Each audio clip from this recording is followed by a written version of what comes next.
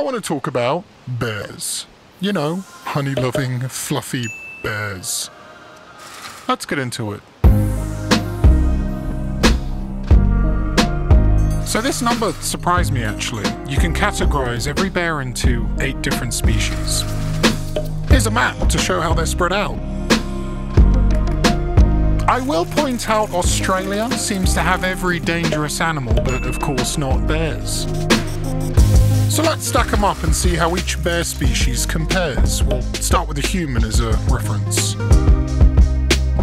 Trust me when I say this bear literally eats anything, even myself.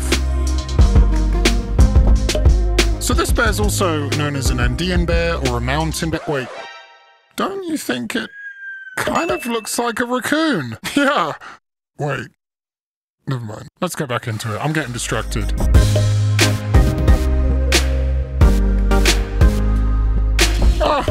Did you know they live exclusively in China?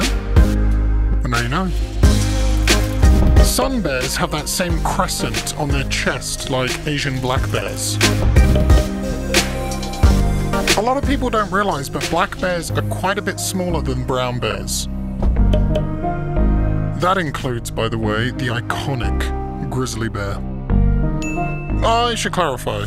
Kodiak bears, which are endemic to Alaska, can grow to about the size of a polar bear, by the way. They're huge. Coca Cola. I'm just kidding. They're actually really, really good swimmers. They can go for just miles. But wrapping up, let's talk about the king, the all time goat. Discovered in Argentina, trust me when I say this bear was huge. Let's drop it in.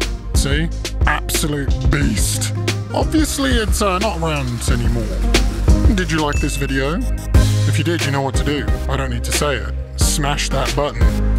Bye bye.